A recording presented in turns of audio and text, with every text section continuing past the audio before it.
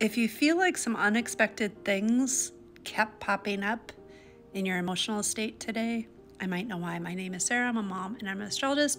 I share this kind of thing. If you like it, stick around. If you don't, drink your water. You'll be thanking me later.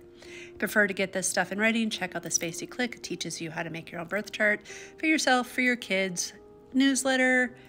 Sign up is there in my Patreon as well. It's an amazing community. You should join it. When we have 50 people who join at any level, start giving away a free birth chart reading every month.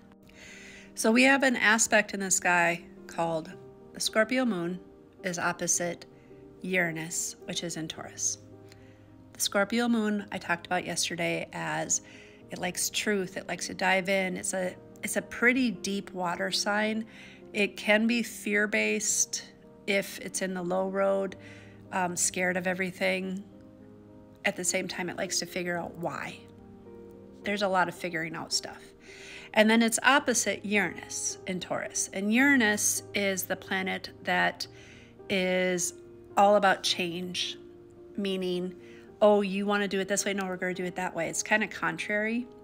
It's also very electric, like your nervous system electric. It also is very forward thinking. So you might be having thoughts and feelings about your future and how can you balance it. And also surprising things may have happened or may happen throughout the day. It comes to the head of it, so they the apex of it is at 7:24 p.m. So we're building to this all day long today. My solution if things get hard is how can you meet in the middle?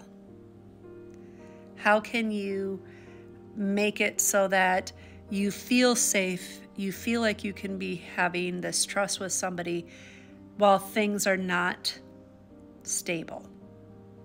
How can you do that? Well, you can lean into the moon. The moon is a water sign, so drinking your water, taking your Epsom salt bath, that might actually feel very comforting to your nervous system. If you're a parent, realizing bedtime might be a little bit of a struggle today, so starting it early might be helpful. Hearing no also might be a thing you hear. So, how can you enable your child or the person that's telling you no to give you a different idea? Because it might be brilliant.